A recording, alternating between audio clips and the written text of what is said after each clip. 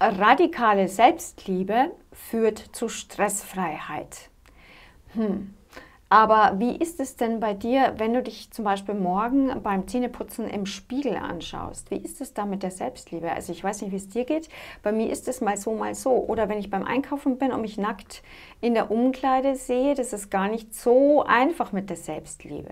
Aber das alles Entscheidende, um den Stress aus unserem Leben für immer zu beseitigen, ist die Selbstliebe. Das sagt mein nächster Interviewgast hier bei mir bei Bettina Geithner auf YouTube.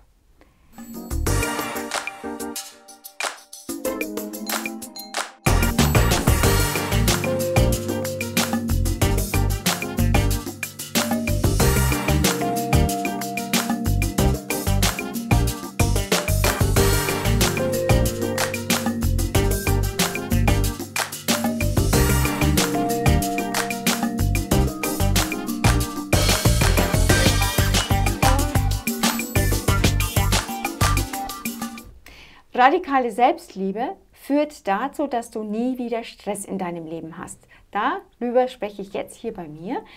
Wenn du über mehr solcher kraftgebender Interviews informiert werden möchtest, dann drück doch auf YouTube die oberste Glocke, dann wirst du informiert, wenn neue Interviews hochgeladen werden. Liebe Katrin Anna Günther, ich spreche dich jetzt mit dem ganzen Namen an, dass meine Zuschauer dich auch gleich googeln können. Ich fand es so ein tolles Thema, das wir jetzt schon vorher durchgegangen sind. Radikale Selbstliebe führt zu Stressfreiheit. Im ersten Augenblick war mir der Zusammenhang gar nicht richtig klar. Könntest du mal bitte den Zusammenhang erklären? Genau. Erstmal freue ich mich sehr, dass ich hier bin, Bettina. Ich freue mich auch. Oh, das ist immer schön mit uns. Ja, äh, das Thema Selbstliebe ist ein Riesenthema. Ja, und äh, Stress auch. Das heißt, äh, es macht Sinn, die beiden Themen mal zusammenzubringen und einfach mal zu schauen, okay, wie kann ich denn zukünftig besser mit Stress umgehen? Es ist ja nicht so, dass wir im Leben niemals Stress haben. Es wird immer so sein, es gibt ja sehr, sehr viele Stressfaktoren, psychoemotionaler Stress, es gibt äußere Faktoren, Umweltstress, ja, es gibt äh, äh, Amalgam, Stress, also egal was wir im Zähnen haben, Viren, Bakterien, also es gibt ganz viele Stressfaktoren, will ich damit sagen. Ne? Das heißt, wir können dem gar nicht ausweichen. Aber die Frage ist immer, wie gehe ich denn mit dem Stress um? Und meine Erfahrung seit Jahrzehnten, muss ich einfach so sagen, weil es ja auch mein eigener Weg ist, ähm, hat mir eben gezeigt, dass wenn je mehr ich in meine Selbstliebe komme, also je mehr, je stärker ich an mich selbst, an, an mich selbst glaube, ja, mhm. äh, selbst gut zu mir bin, ja, und äh, mich wertschätze und auch bestimmte, sagen wir mal, Strategien und Regeln befolge, dazu kommen wir vielleicht noch, ähm, dann kann ich doch wirklich meine Selbstliebe stabilisieren, weil die Selbstliebe an sich ist in jedem schon drin. Hm. Die Frage ist ja, wie kann ich sie sozusagen herausholen? Wir sind ja eigentlich in uns schon vollkommen. Ja, ja? Genau. Wir müssen ja einfach nur das sozusagen aktivieren, was schon mhm. da ist und im Prinzip Blockaden zur Seite räumen. Es geht genau. ja nur darum, es geht nicht darum, nach der Liebe zu suchen ein ganzes Leben lang ja, oder nach der Selbstliebe zu suchen, sondern es geht darum, das, was uns von der Liebe trennt, dass wir das sozusagen zur Seite schieben, beziehungsweise ja. uns anschauen, die Blockaden oder die großen Wackersteine, sage ich immer, aus dem Weg räumen. Mhm. Ja? Und dann kommt unser wahres Wesen, dieser ganze schöne Glanz, kommt dann zum Vorschein. Und dann kann ich natürlich mit Stress auch ganz anders umgehen. Ich kann da zustimmen, wenn du sagst, dass die, dass die Selbstliebe dazu führt, dass man praktisch weniger Stress empfindet. Das kann ich schon äh, bestätigen aus, weil auch weil äh, automatisch ist es so, je mehr ich mich selber akzeptiere, desto weniger werde ich mich in Situationen begeben, die mir nicht gut tun, auch wenn ich laut meinem Verstand glaube, ich muss das tun, aber ich muss es gar nicht tun. Ich muss vielleicht auch keine Arbeitsstelle haben, wo ich sehr viel Geld verdiene, aber sehr viel Belastung habe und sehr viel Arbeit habe. Das stimmt natürlich nur. Das Thema Selbstliebe, das ist so breit gefächert und ich glaube, jeder Mensch sagt Selbstliebe. Aber was ist denn Selbstliebe? Was verstehst du als die, die das wirklich entwickelt hat, jetzt 30 Jahre und auch in ihrer Arbeit weitergibt, und zwar die radikale Selbstliebe? Wie verstehst du Selbstliebe? Mhm. Also ich persönlich würde es gar nicht radikal nennen, ja, sondern es ist das, was wir sind. Also es geht immer in unserem Leben, warum sind wir hier? Es geht darum, wir wollen unser, also unser volles Potenzial entfalten. Darum geht es. Mhm. Ja? Das ist zwar nicht vielen bewusst, aber darum geht es eigentlich hier. Und das kann ich nur entfalten, wenn ich auf mich selbst achte, wenn mir das überhaupt erstmal bewusst ist. Weil Selbstliebe ist nicht nur sich selbst lieben, weil das ist ja nicht so richtig greifbar, ja. Das kann ja erstmal, ja, wie, wie soll ich mich lieben, ja? Das ist erstmal. Zuschauer, wissen auch nicht. ja, deswegen, ne? Und äh, das heißt, deswegen habe ich ja am Ursprung diesen Selbstliebe-Integrationsprozess entwickelt. Das ist ja sozusagen das Fundament, da können wir mhm. nochmal äh, drüber sprechen. Sondern es geht darum, erstmal zu erkennen, warum bin ich überhaupt hier? Sich mal die Fragen zu stellen, wer bin ich überhaupt? Warum bin ich hier?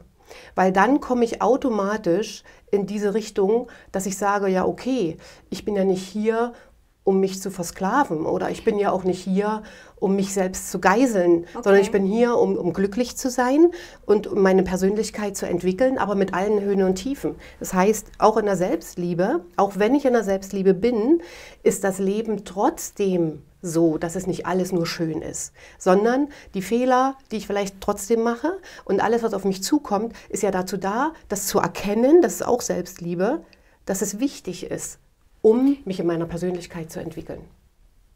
Wenn unser Zuschauer aber nicht weiß, wieso er hier ist, wie kommt er drauf? Wie, woher weiß jetzt unsere ja. Zuschauerin, unser Zuschauer, darum bin ich hier? Ja, indem man sich die Fragen erstmal stellt und am besten aufschreiben.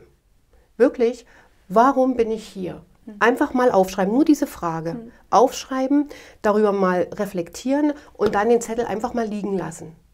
Dann mal nach zwei Tagen mal wieder dran vorbeigehen, warum bin ich hier? Es ist nicht so, wenn wir uns, es geht, oder sage ich mal andersrum, wir sollten uns angewöhnen, mehr Frager zu werden ja. statt Sager. Es ist wirklich so, ja. Mhm.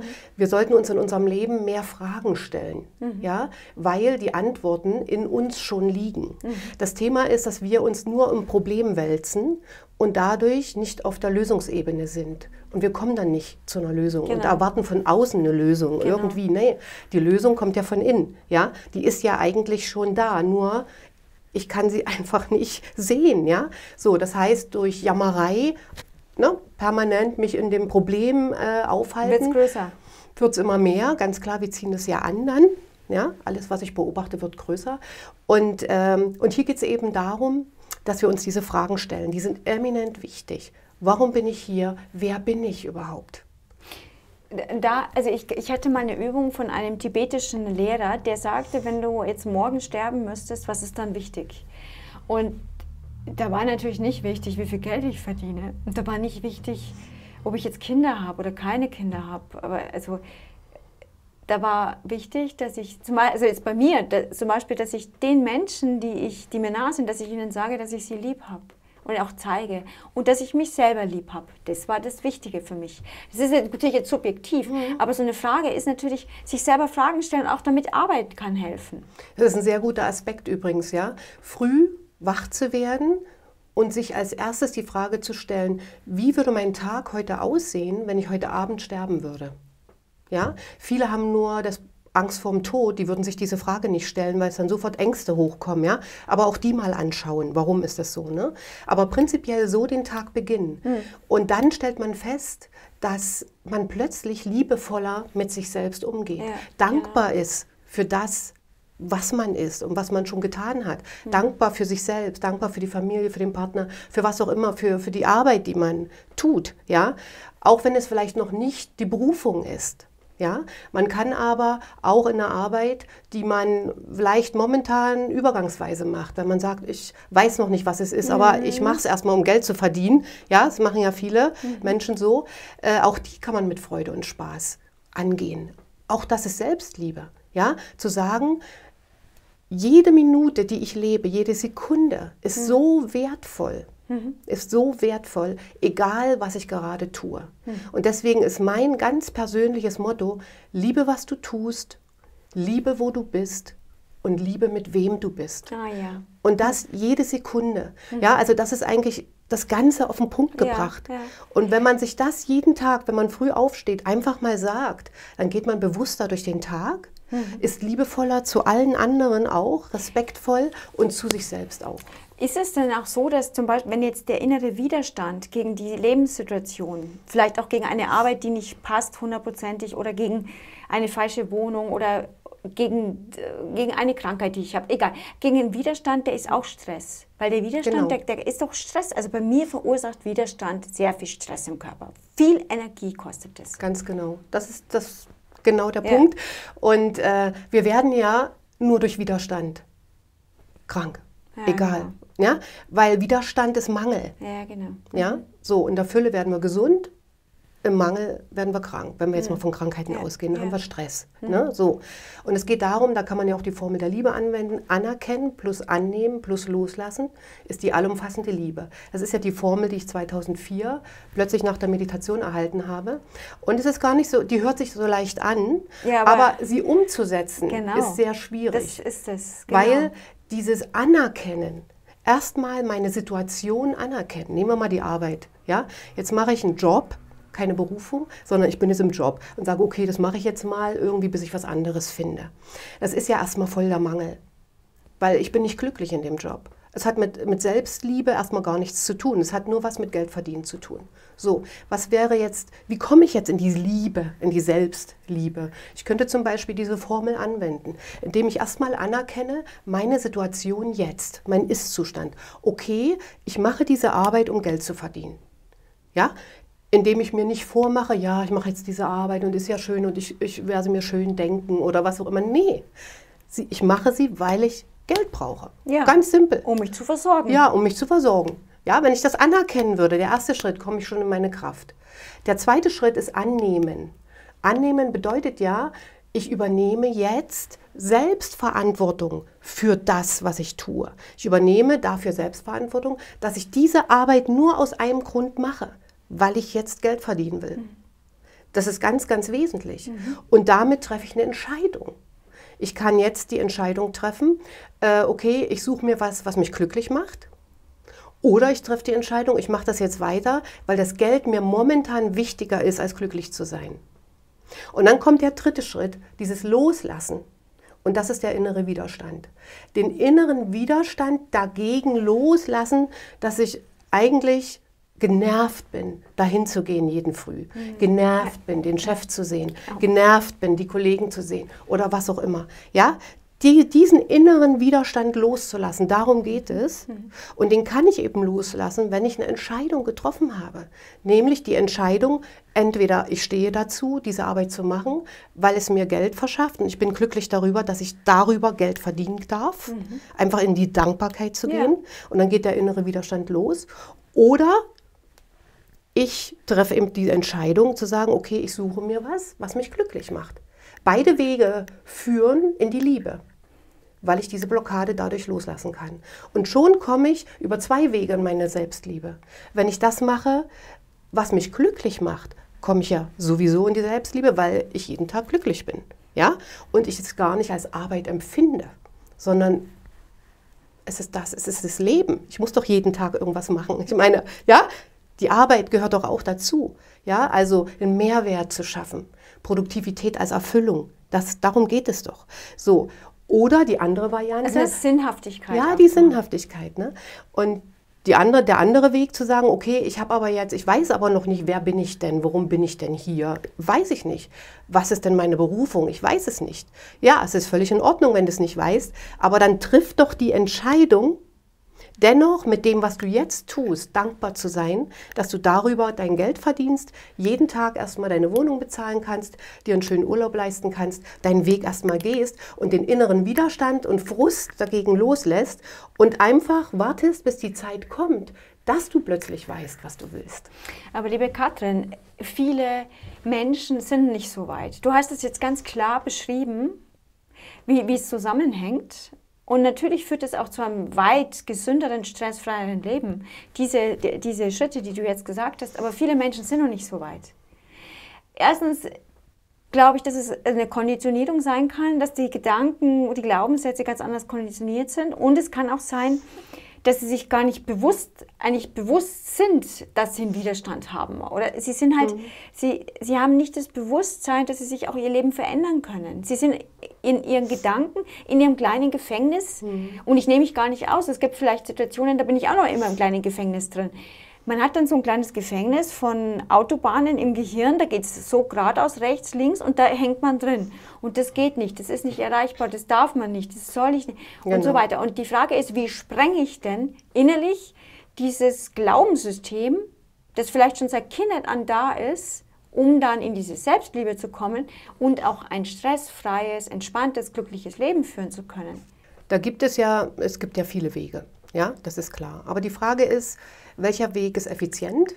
Ja, ich möchte ja prinzipiell immer nee, keine Schleifen gehen, sondern eigentlich möchte ich ja, auf einem kurzen Weg an mein Ziel kommen, normalerweise. Ne? Klar. Aber das Leben ist oft nicht so. Ne? Das heißt, wir brauchen viele Wege. Das ist unser eigener Wachstumsprozess. Ne? Ja, genau. So, der eine schneller, der andere langsamer, das ist völlig wertungsfrei. Ne? Das sind unsere, unsere eigenen Prozesse, die sind auch gut so diese Muster und die Konditionierung, die bringen wir ja schon aus der Kindheit Eben. mit. Wir bringen es ja schon von unserem elterlichen, ja. von, vom Elternhaus mit, von, vom Umfeld mit kommen, und so weiter. Um entspannt, glücklich zu sein. Genau. Da gibt es, wie gesagt, man kann äh, entweder der erste Schritt ist es überhaupt erstmal zu erkennen, dass ja, ich ein das Muster bin. Ich. Hilft dir dein Buch? Jeder weiß ja. Hilft dein Buch? Kann man sich da bewusster werden? Auf jeden Fall. Das ist ja ein, das ist ja ein Arbeitshandbuch direkt. Mhm. Darum geht es hier drin. Ja. ja. Das ist ja nicht einfach nur ein Buch, sondern das ist ja meine Leidenschaft, die hier drin ist. Das muss ich wirklich so sagen. Ja. Weil ich den Weg ja gegangen bin schon also und immer wieder ist Menschen gehe. in die Selbstliebe ja, zu führen. Nicht Richtig? nur Selbstliebe. Ich möchte Menschen gesünder und glücklicher, ja. also nicht machen, sondern ihnen helfen, ja, sie unterstützen, genau. gesünder und glücklicher mhm. zu werden. Und das ist auch meine große Vision. Mhm. Ja, und dafür, und das mache ich schon 30 Jahre und das wird auch die nächsten genau. 30 Jahre noch so sein. Ähm, ja, und diese Vision, die, äh, die setze ich ganz einfach um ja. in verschiedenen Sachen. Und ich habe viele Techniken auch früher ausprobiert, viele Techniken, ja. Techniken selbst äh, kreiert, um einfach weiterzukommen mhm. im Leben. Und diese Muster aufzulösen, da kannst du ähm, kannst du zum Beispiel Klopftechniken machen, ja? ja. Du kannst Aufstellungen machen, mhm. ja? Das kennen ja auch schon die meisten mittlerweile. Man kann diese Formel der Liebe benutzen, ja? Aber hier habe ich jetzt eine wichtige Frage, ja. weil wir haben ja schon viele Interviews gemacht, aber jetzt für Zuschauer, die zum Beispiel jetzt zum ersten Mal Formel der Liebe hören. Mhm. Und du hast gerade die drei Schritte genannt, aber was bedeutet das dann ganz praktisch? Also was mache ich innerlich? Sage ich mir da diese drei Schritte in Gedanken? Gehe ich in das Gefühl, das dazu passt, zu diesen drei Schritten hinein? Oder stelle ich mir meine Zukunft vor, zusammen mit diesen Schritten?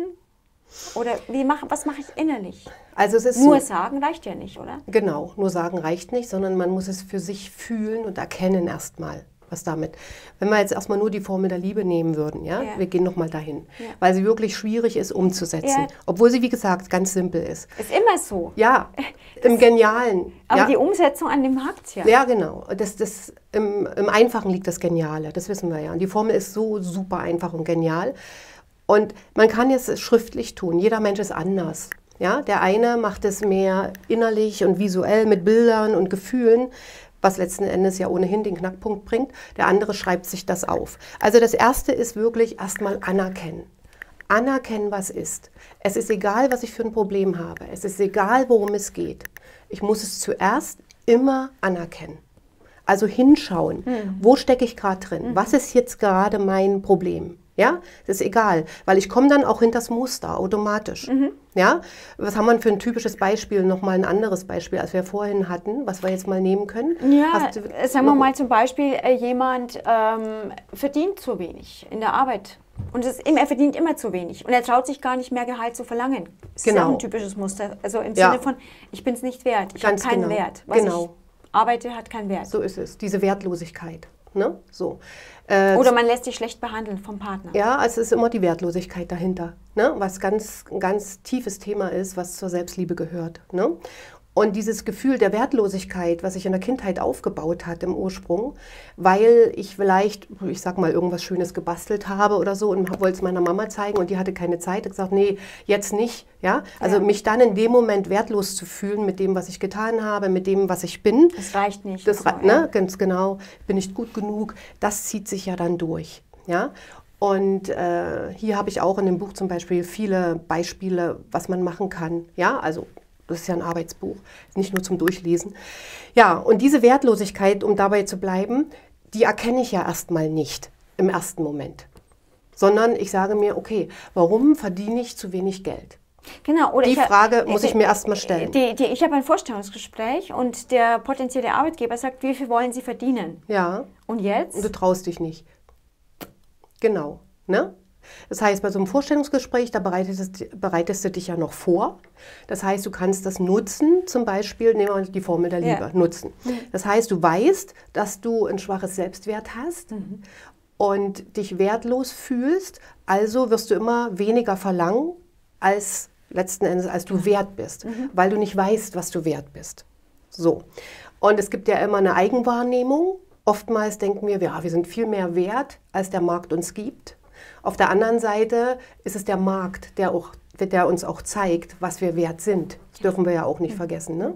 So, und ich muss als ersten Schritt aufschreiben, okay, anerkennen, was ist. Ich traue mich nicht, mehr Geld zu fordern zum Beispiel.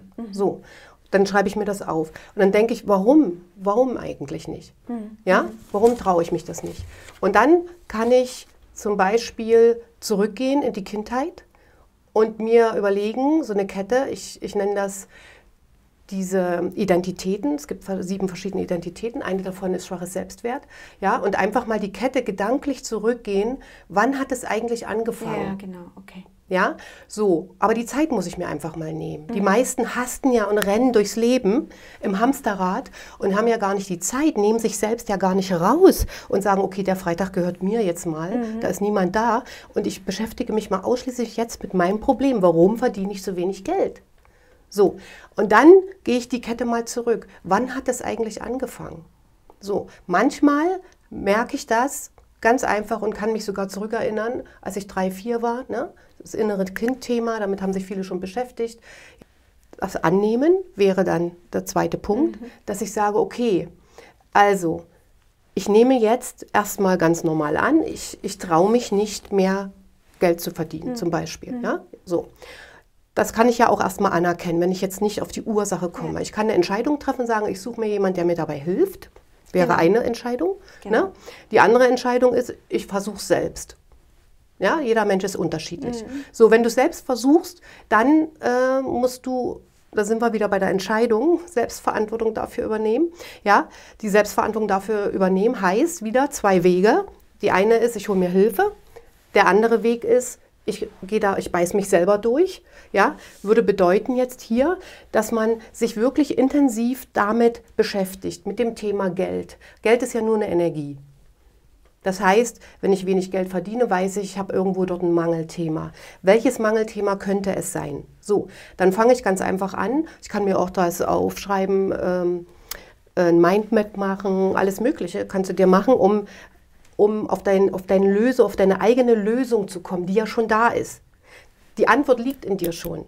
Wenn du dich damit beschäftigst, einfach mal einen Tag Ja. und das mal liegen lässt und dann vielleicht noch mal einen Tag, ja, dann kommst du Schritt für Schritt weiter selbst sogar. Die meisten gehen natürlich und holen sich gleich Hilfe. Ja. Ja. Ähm, aber nehmen wir mal das selbst. So, jetzt kommst du da weiter und jetzt kommst du nicht drauf. Jetzt denkst du dir, oh, das ist Wahnsinn, ich komme hier nicht drauf. Warum? Warum verdiene ich das nicht? Wenn ich jetzt in meine Kindheit zurückgucke, natürlich habe ich da viel Themen gehabt, ja, die vielleicht nicht so gut waren. Aber welches Thema passt denn jetzt zum Geldthema? Ja, so und dann kannst du zum Beispiel die Klopftechnik nutzen. Kannst ja? du mal für die Zuschauer zeigen? dass du dann einfach, Ich mach mal mit. ja, es gibt ja, Macht auch mit. es gibt ja einmal die SOS-Technik. Ich nenne Ja. sie so, weil ich sie einfach so kreiert habe als nachher. schnelle Technik. Ja, aber wenn man jetzt intensiver reingehen möchte, wir machen mal so ein Geldthema, mal wirklich Geldthema mal durch. zum Beispiel, ja. Wir machen mal einfach so ein Thema Okay. durch, weil Zuschauer machen mit. so ist es. ja, wir nehmen jetzt das Thema, ich glaube, es geht den meisten so, die verdienen ja einfach zu wenig Geld, weil sie sich das nicht wert sind, das einzufordern, was sie selber wert sind. Ne? Diese Wertlosigkeit. Ja. So, und dann äh, bin ich jetzt an dem Thema angekommen und sage mir, okay, aber warum? Warum verdiene ich jetzt? Was ist jetzt die Ursache? Ja, so. Und dann könnte ich zum Beispiel anfangen, hier oben zu klopfen.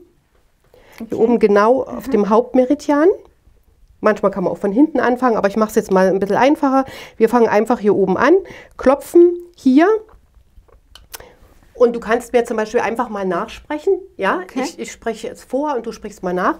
Äh, wichtig ist, dass, dass du nicht so klopfst, dass wir nicht so klopfen, es geht darum, dass die Akupunkturpunkte, die Ah. auf dem Akupunkturmeridian, auf dem Gouverneur hier oben liegen und überall, dass wir Akupunkturpunkte, das sind Nervenpunkte, die direkt Ja. mit unserem Nervensystem Okay. zusammenhängen, auch mit dem Parasympathikus, dass wir die beklopfen. Das heißt nicht irgendwo, sondern ganz speziell hier oben den Scheitel. Ja? Mhm. So. Und die Klopftechnik selber, die könnte man zum Ich Beispiel. merke schon was. Ja, genau. Einfach hier so. Und dann kann man dabei sprechen. Und das mache ich jetzt mal für dich. Du klopfst und ich mache das für dich. Wir gehen jetzt davon aus, du wärst jetzt, du wärst jetzt bei mir. So, und wir gehen jetzt mal ganz konkret bei dir das Geldthema durch, als würde es dich betreffen. Ja, dann ist das für die anderen Gerne. gleich, ist das für die anderen gleich äh, das Richtige. Das heißt, du bleibst in der Mitte. Du kannst jetzt auch ganz locker machen mit dem Klopfen. Guck mal, so einfach. Ganz locker klopfen. Gar nicht so verkrampft, locker klopfen, weil du brauchst dich momentan noch nicht darauf konzentrieren, sondern ich mache das ja jetzt für dich. Der Zuschauer kann Für sich ja alle. kann sich das auch mitschreiben, ja, bestimmte Oder mitmachen. ja, mitmachen auch gleich. Ähm, genau. Das heißt, der Einstieg wäre jetzt hier. Du kannst die Augen zumachen, konzentriere dich mal auf das Thema, dass du einfach das Gefühl hast, ich bekomme zu wenig Geld für meine Leistung. Ja, das ist ja heute jetzt hier das Thema. Dabei klopfst du schön locker einfach mit den Handgelenken da oben auf, den, auf die Stresspunkte drauf. So. Und dann äh, sprichst du mir einfach nach. Auch wenn ich das Gefühl habe, Auch wenn ich das Gefühl habe, dass ich zu wenig Geld für meine Arbeit bekomme. Dass ich zu wenig Geld für meine Arbeit bekomme. Und mich das klein macht. Und mich das klein macht. Und traurig. Und traurig. Und ich mich dadurch wertwo- wertlos fühle, und ich mich dadurch, dadurch wertlos fühle, achte und liebe ich mich. Achte und liebe ich mich. Und nehme mich so an, wie ich bin. Und nehme mich so an, wie ich bin. Und erlaube mir, und erlaube mir, auch wenn ich weniger Geld verdiene. Auch wenn ich, wenn ich weniger Geld verdiene. Und das Gefühl habe, dass ich mehr wert bin, und das Gefühl habe, dass ich mehr wert bin, mir selbst zu erlauben, mir selbst zu erlauben, auch mit weniger Geld glücklich zu sein. Auch mit weniger Geld glücklich zu sein. Und zu wissen, und zu wissen, dass ich je mehr ich mich entwickle, je mehr ich mich entwickle, immer mehr Geld immer mehr Geld mir zufließen mir wird. zufließen wird. Wunderbar. Toll. Nee, halt, stopp, Ja. Augen zu, durchatmen, tief einatmen, reinspüren.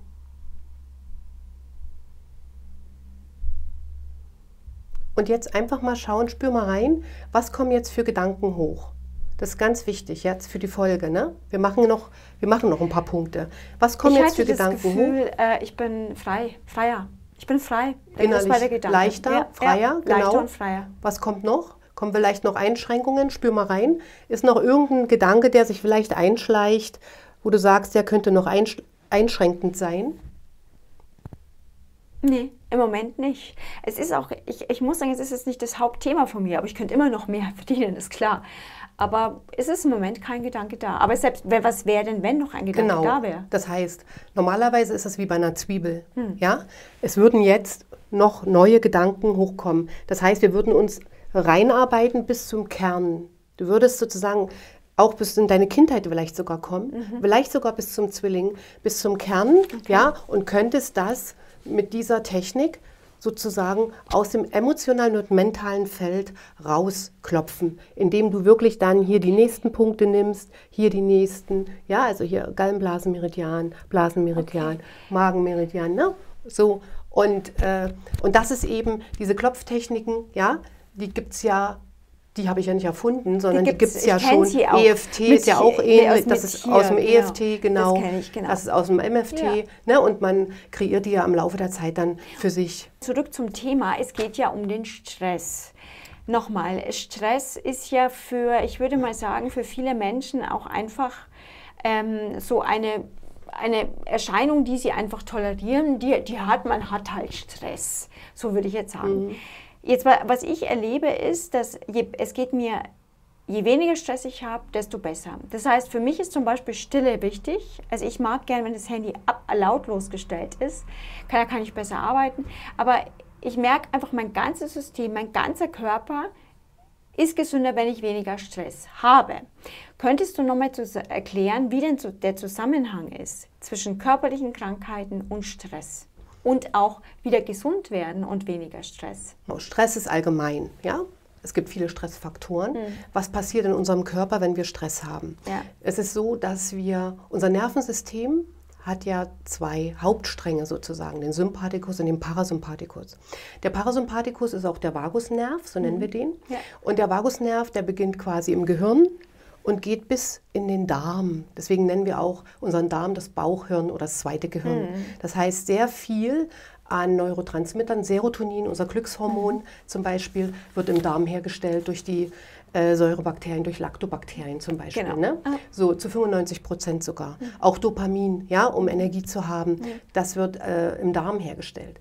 Wir haben früher immer gedacht, das kommt alles aus dem Gehirn, wird im Gehirn hergestellt. So ist es ja nicht. Deswegen ist ein gesunder Darm ganz, ganz wichtig für eine gesunde Psyche genau. mhm. und umgedreht. Ja, mhm. das heißt, es gibt immer eine Interaktion zwischen Darm und Hirn. Das ist mhm. das eine. Wenn wir Stress haben, übersäuert unser System, unser Stoffwechsel. Das heißt, die Gefäße verengen sich, der Blutdruck geht oft hoch, ja, Adrenalin, Cortisol wird ausgeschieden. Ja?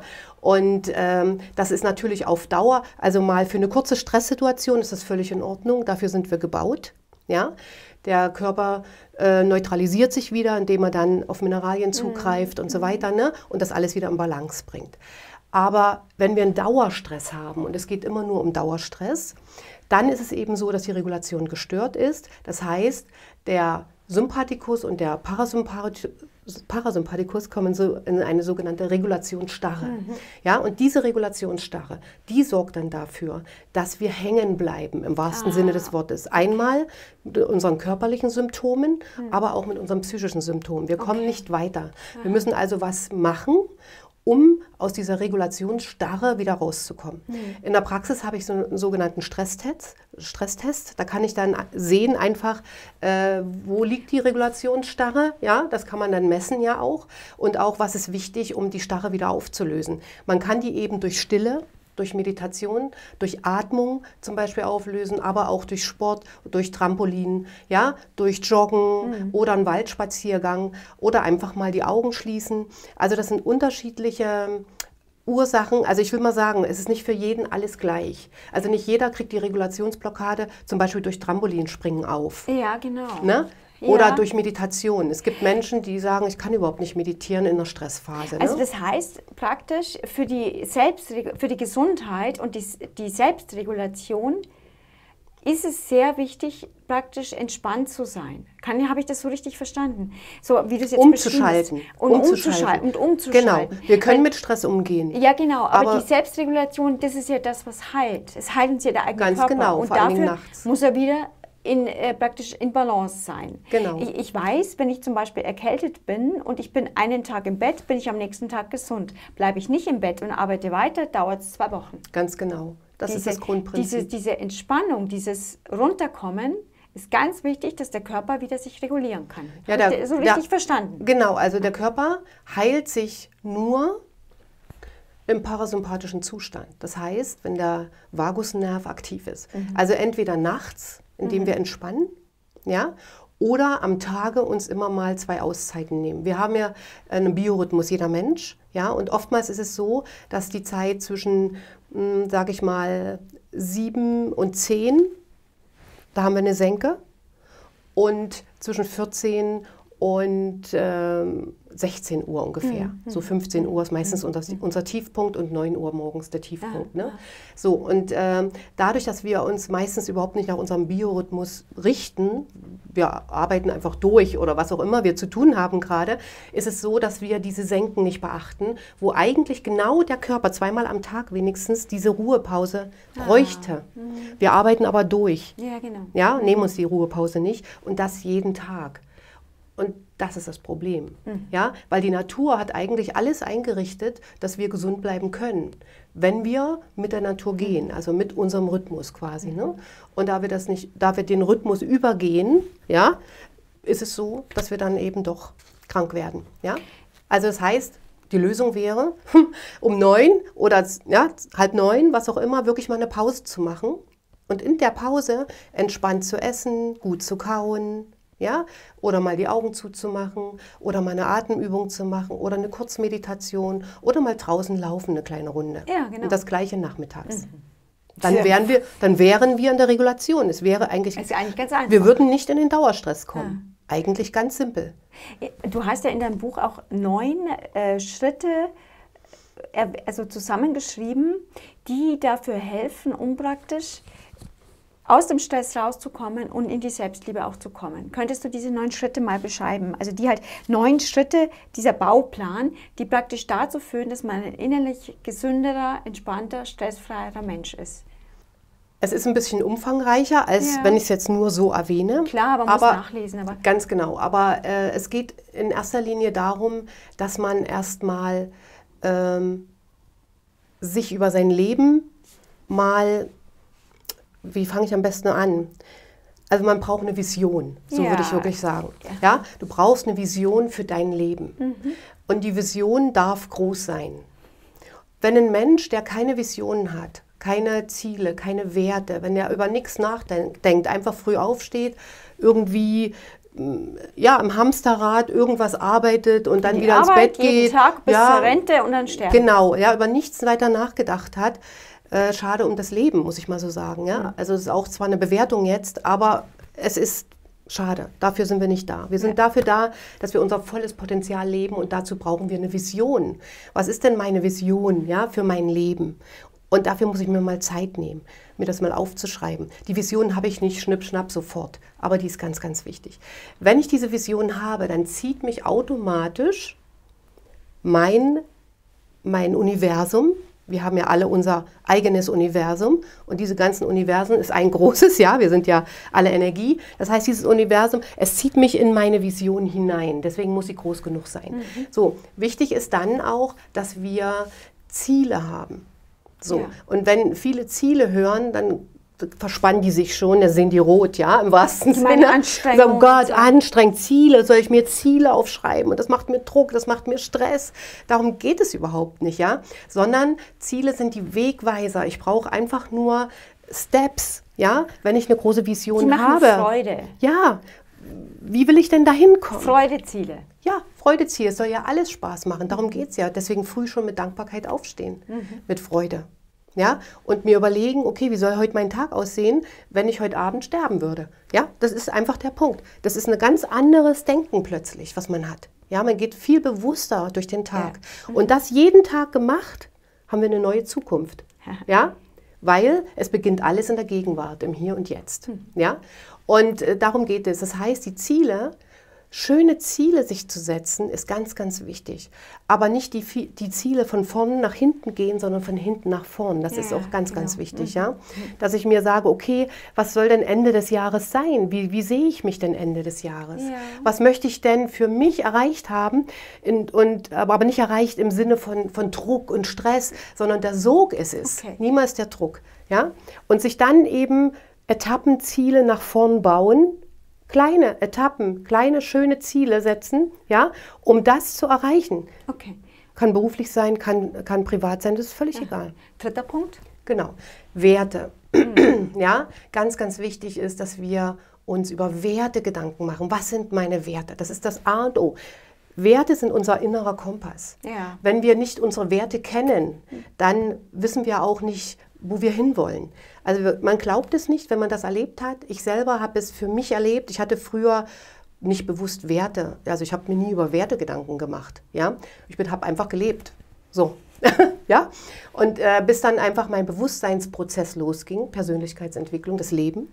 Und äh, als mir dann bewusst war, welche Werte ich überhaupt habe, dazu gehört auch Wachstum, ja, Lernen, ja, auch wichtige Werte, äh, dann ist es automatisch so, dass dein Inneres richtet sich aus danach. Also dein Leben, du ziehst Sachen in dein Leben, die deinen Werten entsprechen. Genau. Ne? Und deswegen sollte man sich seine wenigstens fünf, sechs, sieben Werte aufschreiben. Ja? Die Werte können sich im Laufe des Lebens natürlich verändern. Wenn du dich in deiner Persönlichkeit entwickelst, entwickeln sich manchmal auch Werte, verändern sich auch manchmal Werte, auch Ziele. Ja? Aber diese Hauptwerte, die mich ausmachen, mich als Persönlichkeit, als authentischer Mensch, die sind ganz, ganz wesentlich. Ja? Die müssen passen. Dann ist ganz, ganz wichtig, dass wir im Leben immer unsere Mission haben Äh, ja, eh. unser Warum. Warum mache ich das denn? Ja, warum? Aber Mission ist nicht Vision. Nein. Nein. Eine Vision ist unser großes, unser großer Überbau. Also warum ich, warum ich das, äh, was ich zur Die, Welt beitragen möchte. Das ist meine große Vision. Ja. Mhm. ja? Wer will ich sein, wenn ich, wenn ich später gestorben bin? Mhm. Was soll auf meinem Grabstein stehen? Genau. Was möchte ich, was, welchen Mehrwert möchte ich für Menschen mhm. geschaffen haben? Es geht doch immer nur darum, es geht doch nicht um uns selbst. Also es geht auch nicht in meiner Vision um mich oder irgendwas. Es geht nicht um mich. Es geht darum, was kann ich in diesem Leben beitragen für andere Menschen. Genau. Und das hat jeder, jeder Mensch. Nur darum geht es. Ja, so. Außer die, die, außer die, die, ja, die einen ganz hohen Wert Gier haben. Ja, das ist natürlich dann eine andere Geschichte. Äh, das muss aber jeder mit sich selber klar machen. Ne? Prinzipiell geht es darum, äh, wer, das ist die große übergeordnete, ist die Vision. Aber die Mission ist das, was mich antreibt. Dass ich jeden früh aufstehe mhm. und sage, wow, dafür habe ich Lust. Zum Beispiel ein Buch zu schreiben, das weiß jeder, der ein Buch geschrieben hat, man muss dranbleiben. Das ja, ist so. es ist viel, viel, viel Arbeit, aber man, macht, man schreibt ein Buch nicht, weil man damit viel Geld verdient. Das ist ein Irrglaube. Man verdient nichts, es kostet nur Geld. Ja, es ist leider so. Natürlich, es ist so. Ne? Aber es ist eine Mission dahinter. Warum? Warum mache ich das? Mhm. Welchen Mehrwert möchte ich den Menschen damit geben? Mhm. Ja? Dass andere auch vorankommen, dass andere davon partizipieren, mhm. Dass, dass ich in vielen ja. Bereichen das schon geschafft habe. Mhm. Und dieser Bauplan, diese Punkte, wieso sind die wichtig, um meinen Stress zu minimieren im Leben? Weil wenn du keine Strategie hast und keinen Bauplan, ja, dann bist du wie so ein Hase, der hier tick-zack und heute mache ich das und morgen mache ich das und ah, was, was muss ich jetzt? Okay. Völlig ungeordnet, völlig ungeordnet. Stell dir vor, du willst ein Haus bauen mhm. und es gibt keinen Bauplan. Mhm. mhm. Ja, erstes Fundament nach dem Fundament, ja, dann kommt, dann kommen erst die Türen und die Fenster, wenn die Mauer hochge, dann kommt erst das Dach mhm. oben drauf, ja, weil viele sind so in ihrer, in ihrer Panik, sind unstrukturiert, die fangen mit dem Dach an mhm. und wundern sich, dass sie nie ans Ziel kommen und sind unzufrieden dann und immer traurig und trauen sich nichts mehr zu, glauben nicht mehr an sich, weil sie ihre Ziele nie erreichen. Mhm. Ja? Mhm. Und dann wird das Selbstwertgefühl immer schwächer, immer schwächer, immer schwächer. Es geht aber darum, wir wollen unser Selbstwert und unseren Glauben an uns selbst stärken. Und das brauchen wir durch eine Struktur. Mhm. Ja, und diese Struktur, die beschreibe ich hier. Ja? Wie kann ich mhm. Schritt für Schritt mhm. meine Persönlichkeit verbessern, verstärken, ver vergrößern, wie auch immer du das nennen willst. Ja, auf jeden Fall äh, geht es darum, wie werde ich aus einer, aus einer unzufriedenen Persönlichkeit eine glückliche Persönlichkeit. Es ist auch so, wenn ich weiß, ich erfülle meinen Lebensplan, dann sind die kleinen Schwierigkeiten, die auftauchen, gar nicht so schlimm. Die gehören dazu. Die gehören dazu. Das, das ist, ist einfach man ein dankbar dafür. Prozess. Ja. Es ist eine, ja, eine Weiterentwicklung, bis man dankbar, dass man sich weiterentwickeln kann. Genau. Jetzt habe ich eine kurze andere Frage, weil ich habe vor kurzem bei einem psychologischen Kongress oder also Neurologen waren es eigentlich, also Psychoneurologen, da fiel immer diese mehrmals dieser Satz, das Trauma, das ein Mensch erlebt hat, das sitzt in den Nerven. Und das ist Stress für ihn. Also ein Trauma würde in den Nerven sitzen. Mhm. Die haben aber nicht beantwortet, wie geht denn das Trauma mhm. aus den Nerven wieder raus? Mhm. Ja, gut. Das also, finde ich ist das Wichtige. Ja, also, also es ist auch Stress. Ja, ein Trauma sitzt ja nicht in den Nerven, sondern ein Trauma sitzt in der Regel im limbischen System, mhm. im mittleren Teil des Gehirnes. Ja. So, und dort sind die Stressareale über das Nervensystem verbunden, direkt mit Organen. Ah, ja? Okay. Nehmen wir mal an, mhm. starke Ängste, nur mal als mhm. Beispiel. Mhm. Ja? Dieses Angsttrauma, was mhm. irgendwann mal passiert ist, sitzt im mittleren Teil des Gehirnes, hier irgendwo. Genau. Ja?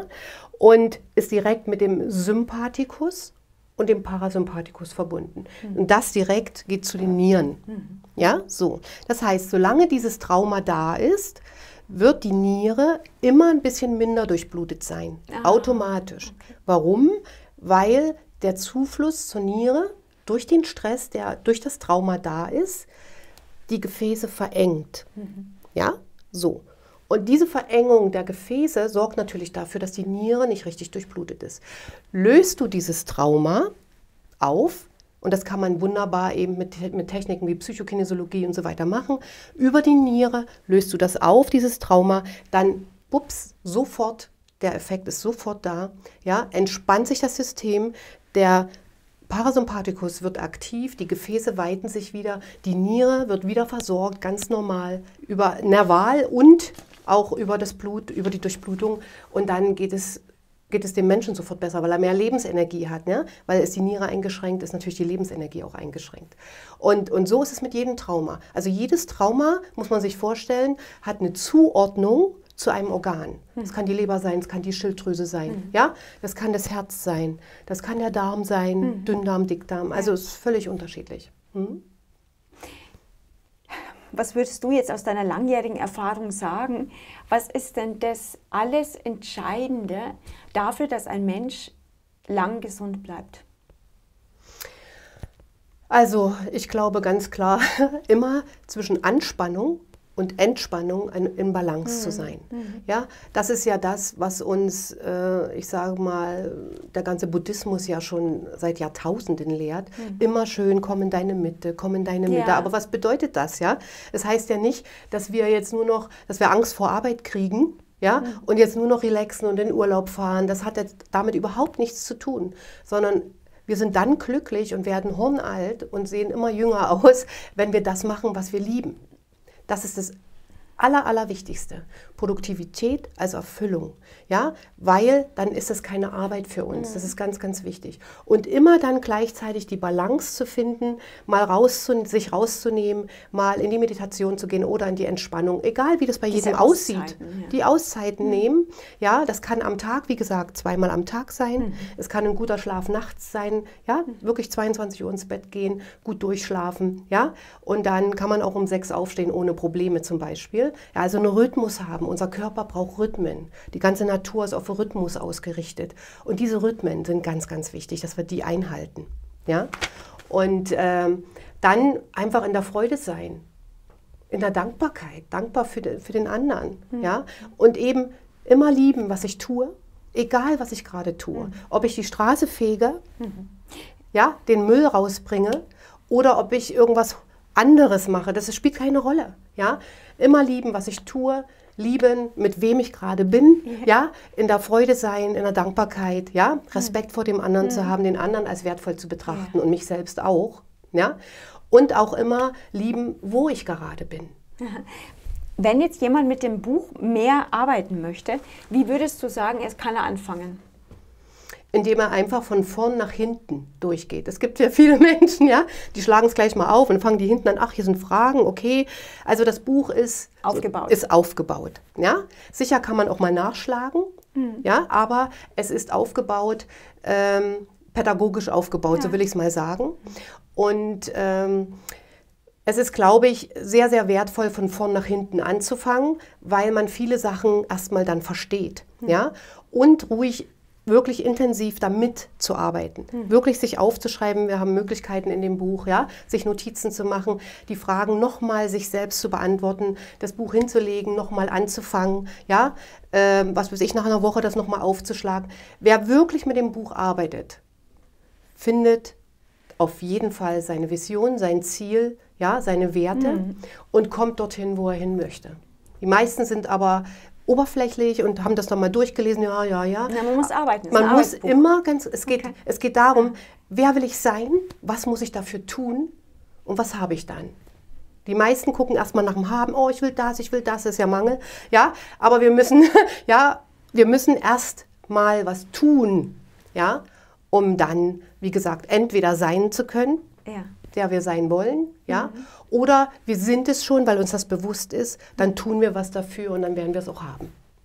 Wunderbar. Liebe Katrin, ganz, ganz herzlichen Dank für diesen Einblick in das Buch, in deine Arbeit und einfach danke, dass du diesen tollen Selbstliebe-Integrationsprozess überhaupt entwickelt hast.